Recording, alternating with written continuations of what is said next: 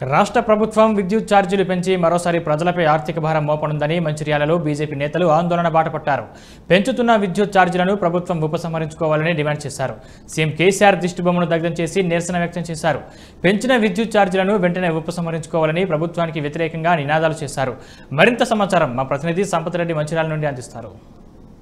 విద్యుత్ ఛార్జీలు పెంచిన నేపథ్యంలో పేద పిల్లలపై భారం పడుతుందని బీజేపీ రాష్ట్ర నాయకత్వం పిలుపు మేరకు ఇచ్చాల జిల్లా కేంద్రంలోని బెల్లంపల్లి చౌరస్తాలో ఆందోళన కార్యక్రమం చేపట్టారు. ఈ నేపథ్యంలో బీజేపీ నాయకులు కేసీఆర్ దృష్టి పంపడం చేసి తెలంగాణ ప్రభుత్వానికి వ్యతిరేకంగా నినాదాలు చేశారు. మన దగ్గర కొంతమంది బీజేపీ నాయకులు సమస్య అడిగి తెలుసుకుందాం. ఏదైతే తెలంగాణ ప్రభుత్వం కేవలం డిస్కంలకు కట్టాల్సిన రాష్ట్ర ప్రభుత్వం బిల్లు ఏదైతే ఉందో సుమారు పన్నెండు వేల వరకు పన్నెండు వేల కోట్ల వరకు బాకీ ఉంది.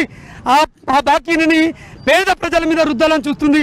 ఏదైతే ఎత్తిపోతకల పథకం అని కేసీఆర్ పెట్టిన ఆ పథకం ద్వారా ఏ ఒక్క రైతు లబ్ధి చేరింది లేదు. వందల వేల కోట్ల కరెంటు బిల్లు కట్టాల్సిన పరిస్థితి వస్తుంది. ప్రభుత్వ కార్యాలయాల్లో గ్రామీణాల్లో కానీ పట్టణాల్లో కానీ మున్సిపాలిటీలలో ఇప్పటికి కూడా రాష్ట్ర ప్రభుత్వం పెండింగ్లు ఉన్నాయి. ప్రజాప్రతినిధులు టీఆర్ఎస్ ప్రజా- ప్రజాప్రతినిధులు ఇంటి కరెంటు బిల్లులు కూడా కట్టట్లేదు. వారి దగ్గర వసూలు చేయాలి కానీ పేద ప్రజల మీద బిల్లులు వసూలు చేయడం ఎంతవరకు సమంజసమని మేము ప్రశ్నిస్తున్నాం. ఏదైతే ఒక సామాన్యమైన పేద వ్యక్తి యాభై యూనిట్లు వాడితే ఇంతకుముందు తొంభై వంద రూపాయలు కట్టాల్సిన పరిస్థితి వచ్చేది.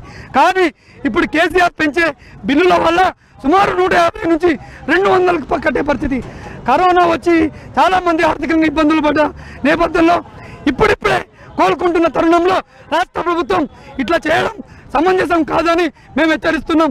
రానున్న రోజులలో కేసీఆర్ని ఖచ్చితంగా రాజకీయ దానం చేసి జైలుకు పంపిస్తామని హెచ్చరిస్తున్నాం.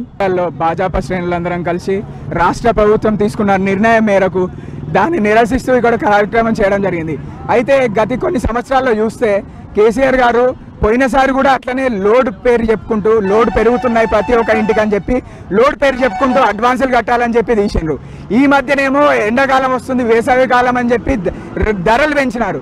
అసలైతే చూసుకుంటే యాభై యూనిట్ల కంటే తక్కువ వాడే వాళ్ళకి అసలు ధరలు పెంచాల్సిన అవసరమే లేదు.